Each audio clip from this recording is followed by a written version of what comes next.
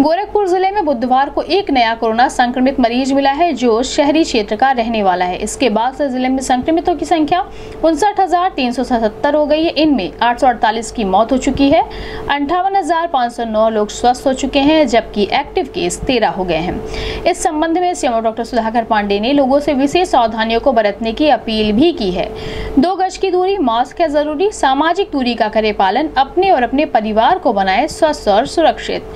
CMO doctor Sudhakar Prasad Pandey ने बताया कि इस बीमारी से बचने के लिए विशेष सतर्कता बरतनी होगी और लोगों को भीड़भाड़ से बचते हुए मास्क का इस्तेमाल करना होगा।